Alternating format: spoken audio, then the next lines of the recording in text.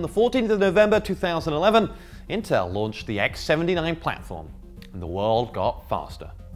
Adding three extra CPUs to the world's fastest product lineup amounts to overkill.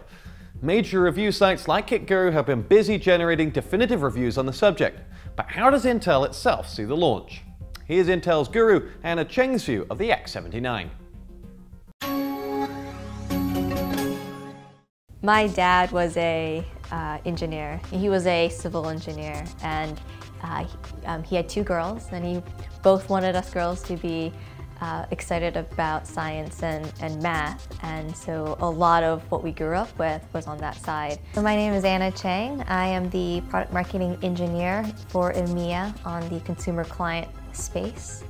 Uh, and uh, I brought with me here today a couple of things for you that I think you'll be very excited about. First one being this really nice CPU. I'm going to open it up.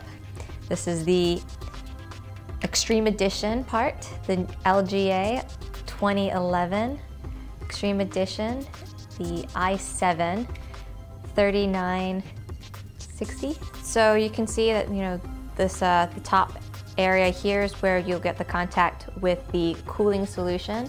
Uh, usually it's a, a, fan cooler or you can also have liquid and if you're really extreme you'll use liquid nitrogen. Not a lot of people do that. Uh, and then you can take a look at the back here and this is what the bottom of the processor looks like. This is where all the connectors uh, match with the main board, with the motherboard of the system and really connects to the rest of your computer. But all of the information, all the technology that powers your PC is in this little package here. Yeah, so, so today's products, the X58 platform and the current i7 products uh, are in its own league. But we really understand that we have power users out there that continue to want more from us, and we really want to continue to provide that. So a lot of the power users out there, not only the gamers, but also enthusiasts in the media space, really want this type of technology and this type of performance. Uh, this is the Extreme Edition. This one's priced around uh, $1,000 US.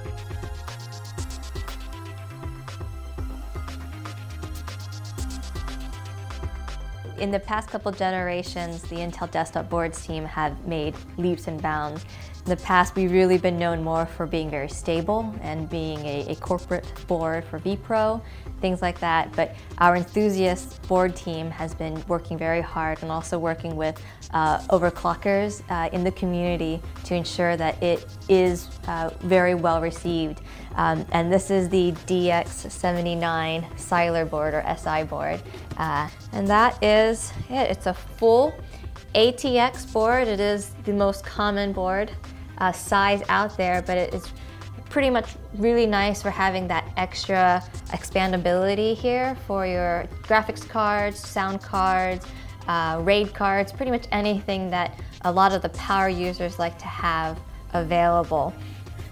Um, so it does have the full uh, 2 by 16 PCIe, and that means that it has um, the full amount of capabilities for the graphics. And uh, you can take a look here. This is the, uh, the socket for our CPU, for our i7.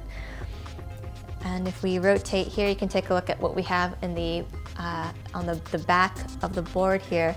Um, you know, we have full surround sound and, and audio capabilities, uh, USB as well as 3.0. Uh, so we'll, we do have super speed USB capabilities and two LAN ports, you know, for that extra connectable connectability and, and uh, uh, flexibility there. It's actually much more overclockable than your standard um, i7s that are out on the market today. Uh, you know, so you'll have some flexibility regarding, you know, the voltages, the speeds, the clocks, um, and all that is available uh, in the BIOS for overclocking. So what you might have noticed is uh, these here are actually the heat sinks for the voltage regulators, uh, and we really only have one uh, you know, South Bridge, North Bridge. Um, in the past, when the X58, it was still a three-chip solution. Since we moved to the Sandy Bridge architecture, we actually now only have two chips. And if you look in the back, you can kind of see that we have a backplate for the CPU socket because of its size. And then if you see here with these little screws here, that's actually the PCH as we call it now. So it's only a two chip solution here. So a lot of it, uh, a lot of the technologies from the ICH uh, in the past generation, pack arch architecture has been absorbed into uh, the two packages here. If you're a champion gamer or a performance enthusiast, this is the board for you.